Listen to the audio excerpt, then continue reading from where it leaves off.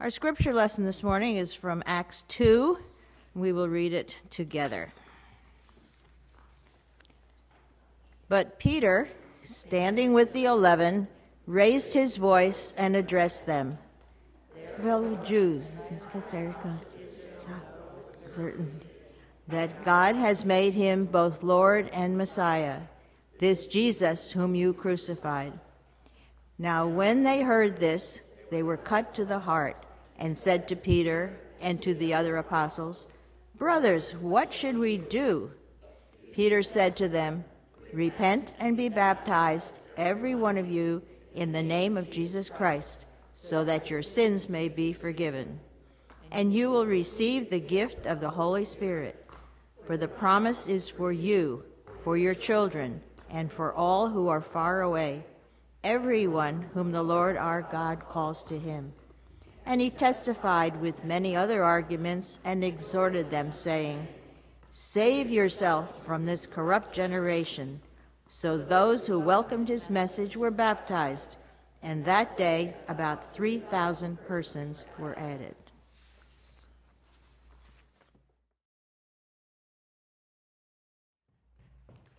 How's everybody this morning? Oh, and we even have Bibles. How cool is that? So, we just listened to a scripture written uh, from the book of Acts, and it had some words in it, and I wondered whether you knew what it meant. What does it mean to repent? Repent. Every once in a while, you see, I don't know that I've ever seen this. I've only ever seen pictures of this, of somebody standing on a street corner with a sign that says, Repent. Any idea? It literally means to change direction. Like you're walking one way and you realize you're walking in the, run, in the wrong direction and you decide to go in a different direction. So, in terms of faith, like say God is back there and you're walking this way and you see somebody on the side of the road with a big sign that says repent and it makes you think, huh, maybe I should go back in that direction towards God. Because we can make decisions that draw us closer to God or decisions that pull us farther away. Does that make sense? Gosh, I lost you really quickly this morning. All right. So there's a story in the Bible about it, it, uh, prodigal son. I'm bringing in another story from Bible where this young man said to his father, um, I know you're not dead yet, but I want the money that I'm going to get when you die.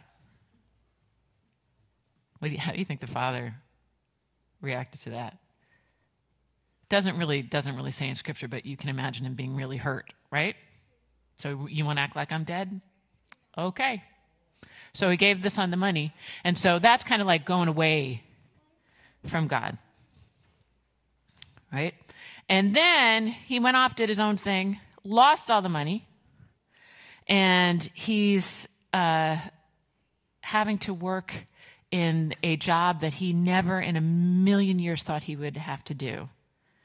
And he was sleeping with the pigs right? He was, you know, he was feeding the pigs, or and he was like, I don't even get to eat what they're eating. Doesn't sound so good, I hear some one of the adults say, right? Like, what's the worst job? There used to be a show on television called Dirty Jobs, right? Right? So he was having to do the thing that he never in a million years would have chosen to do or wanted to do. And then he thought, what the heck am I doing? I should go back to my father's house and say, hey, treat me like a servant. You know, give me a job here. It's going to be better than what I'm doing, right? So he goes back. And the father sees him coming on the road. And what do you think he does? Have you heard the story? No. Okay, what do you think he does? He doesn't help him. He doesn't help him? We would understand that if he didn't, right? We would understand, like, huh, who are you? I don't remember, right? We could understand that. Any other guesses? That's not what happened. he ran to him with open arms and embraced him and said, My son has come home. Right? That's love. That's forgiveness. Right? So, in the scripture lesson that we just read, it says these people hear this message about Jesus and they're like, What do we do with it? What do we do with, you know, what do we do with this now? And they were told, Repent and be baptized. Repent means turn towards God Instead of making decisions in your life that pull you away from God, make decisions that draw you closer to God. And the be baptized piece of it. Um, when we have baptisms, we are reminded that nothing that we have done. I've totally lost them. I hope you're enjoying this. Um, nothing that we have done, nothing that we have left undone, nothing that has been done to us can make God stop loving us. That's what we're reminded of at baptism. God loves us no matter what. We are forgiven, and God just wants to live in re- relationship with us. All right, so I want you to pretend, arms wide. Can you do this, Alexa, Eliana, Teresa, Jeremiah? Jeremiah got it right off the bat. Give yourself a big hug. God loves you no matter what. Okay? God loves you no matter what. And now let's fold our hands, close our eyes, bow our heads, and say a prayer together. Gracious God, thank you for calling us home, for reminding us that we're loved. And Lord, continue to have people, maybe not on, this, on, on a street corner with the word repent, but with a reminder that there's nothing that, that we can do that will stop you from loving us. Thank you. In Jesus' name we pray. Amen. And our second scripture lesson comes from the Gospel of Luke, chapter 24, verses 13 to 35. This is the story of the walk to Emmaus. Now, on that same day, this is the day of resurrection, two of them were going to a village called Emmaus, about seven miles from Jerusalem, and talking with each other about all these things that had happened. While they were talking and discussing, discussing, Jesus himself came near and went with them. But their eyes were kept from recognizing him. And he said to them, What are you discussing with each other while you walk along? They stood still, looking sad. Then one of them, whose name was Cleopas, answered him, Are you the only stranger in Jerusalem who does not know the things that have taken place there in these days? And he asked them, What things? They replied, The things about Jesus of Nazareth, who was a prophet, mighty in deed and word before God and all the people, and how our chief priests and leaders handed him over to be condemned to death and crucified him. But we had hoped that he was the one to redeem Israel. Yes, and besides all this, it is now the third day since these things took place. Moreover, some women of our group astounded us. They went at the they were at the tomb early this morning, and when they did not find his body, they came back and told us that they had indeed seen a vision of angels who said that he was alive. Some of those who were with us went to the tomb and found it just as the women had said, but they did not see him. Then he said to them, Oh, how foolish you are, and how slow of heart to believe all that the prophets have declared. Was it not necessary that the Messiah should, should suffer these things and then enter into his glory? Then, beginning with Moses and all the prophets, he interpreted to them the things about himself in all the scriptures.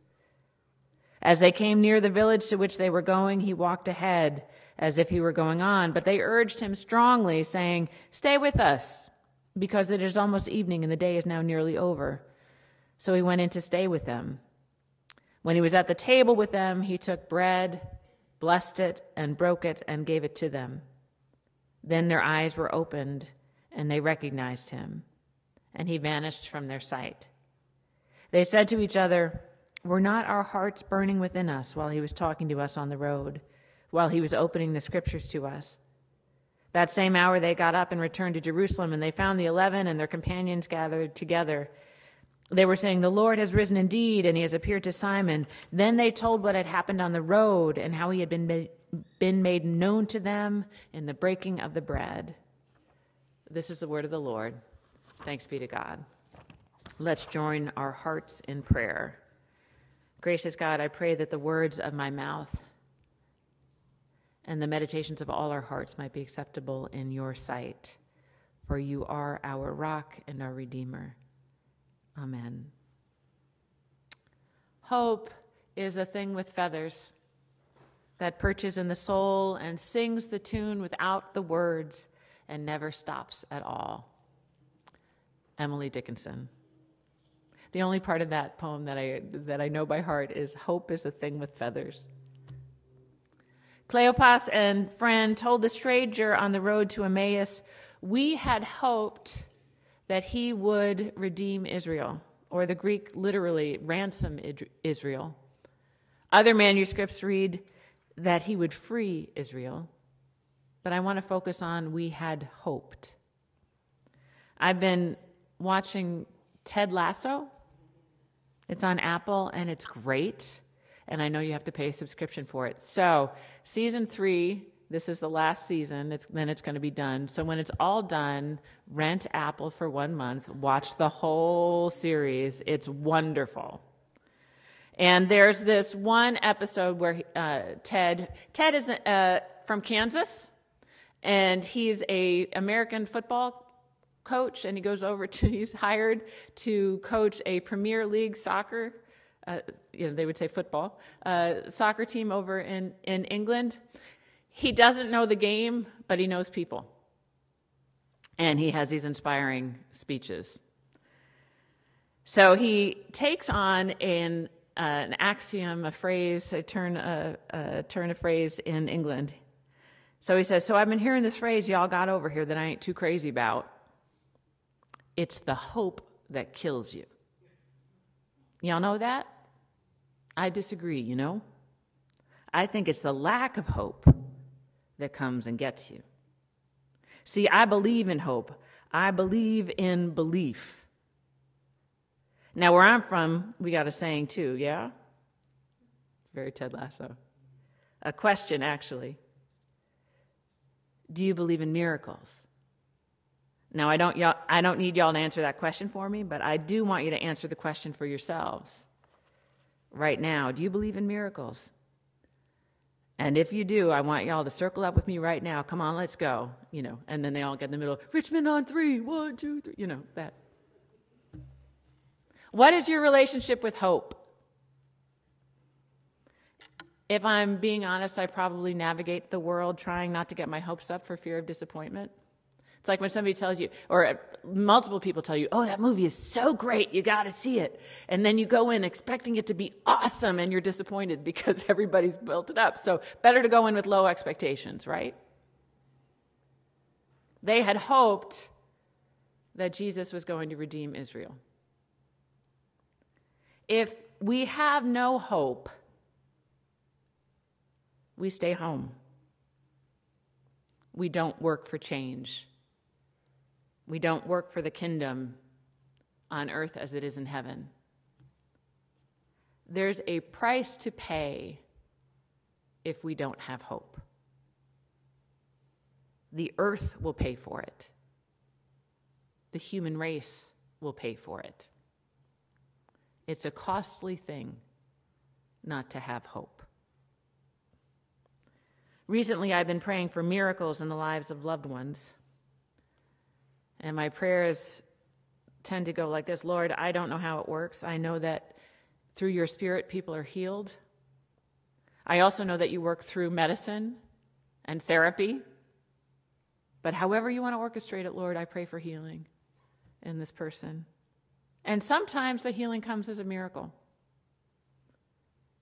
There was a tumor and now it's gone. And sometimes the gift is more time, and sometimes it's tragic. And our faith is shook. And we struggle to hold on to hope.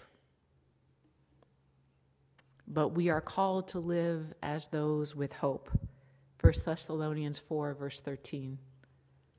To believe in God is to live in hope. For Jesus was resurrected from the dead, and we are an Easter people.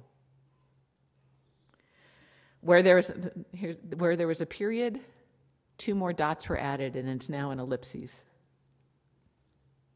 Death is not the end of the story. Another way of saying that is there is a way out of no way.